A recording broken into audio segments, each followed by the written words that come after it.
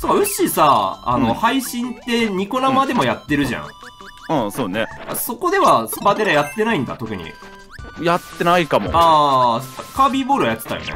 カビオーラやってた。そう、んそれ、それ見たいがためにウッシーのチャンネル入ったもん。見てもしょうがないだろ、知り合いのやつ。いやいやいやいやいや、カービーボールだと思って。で、終わったら抜けたわ。それ言わなくていいよ。ちゃんと抜けといた。そこまで言わなくあていい言わなくていい。言わなくていいか。うん。あ、そうだ、ここだ、ここだ、ここだ。ここまでの宝全部言ってるよねそうだね。ちょっと一応確認しよう。あー、よかったお素晴らしいた。。え、もうだって4分の1だよ。そうだね。早っ。僕なんかさ、うんウシあんま配信しないじゃん。まあ、ニコ生でしてるかもしんないけどさ、そうねなんか。早すぎて順調だと逆に不安になるんだよね、なんか。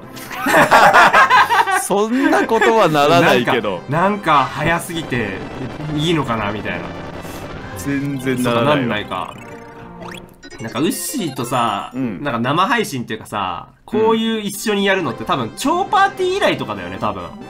まあそうかな、配信だとそうかな。そうだよね、配信だと超パー以来かな。うんいや、でもあれ2015でしょいつかわかんないよ、もう。2015、2015。超パーああー、そうだ、これタイミング合わせとるやつ戻らだせていただいてもらっても。そうだっそうか、たそうか、そうか。入り直さないと忘れてたしまった。